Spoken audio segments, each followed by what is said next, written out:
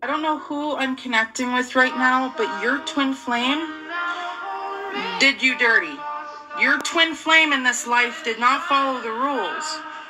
This person and you were supposed to thrive together, learn from lessons, and build together. And that's not what happened here.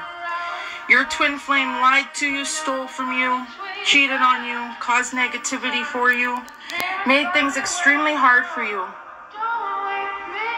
Your twin flame also promised you a long life together, and you never received that. Some of you might actually still be holding on to this. This might have been recent for some of you. This might be old time for you. My throat wants to get itchy and cut off, so someone doesn't want this message out.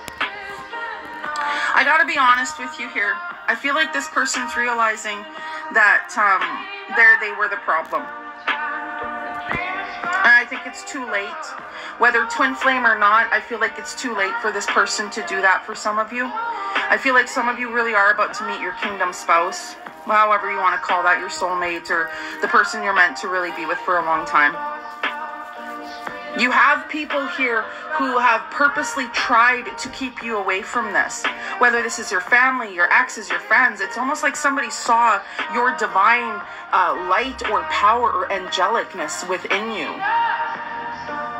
may not be perfect, but at the same time, I feel like whoever I'm connecting with right now, you have a pure heart. And if you know that you're a karmic and you watch my videos just for judgment, oh, of course this isn't for you, then don't even try to absorb that. You're, you're, you're literally showing up to the party in a negative way. You're not invited.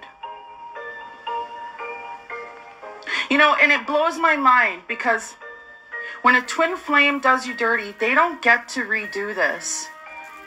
It takes years, thousands, centuries, however you want to look at it. It takes a very long time for you to connect with that actual twin flame. Mm-hmm.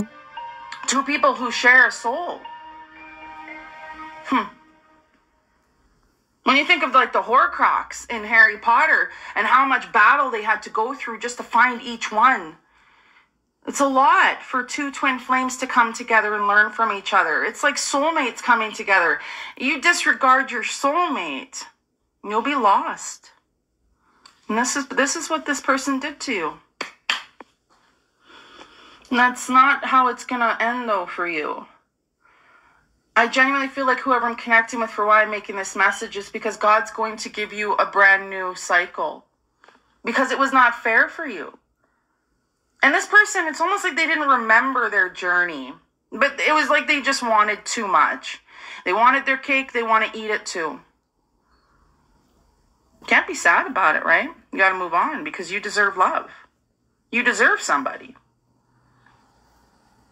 You don't deserve to sit and, and mourn over someone that's out living their life, right? The hardest part is telling yourself confirmation. Actually, the hardest part is telling yourself that this person doesn't care. Maybe the way that you do. And you'll never actually get that acceptance from them. That's the hardest part is never hearing someone say sorry. Never hearing someone validate your feelings. That's the hardest part. You will be fine though. And if you ever need some encouragement, send me a DM.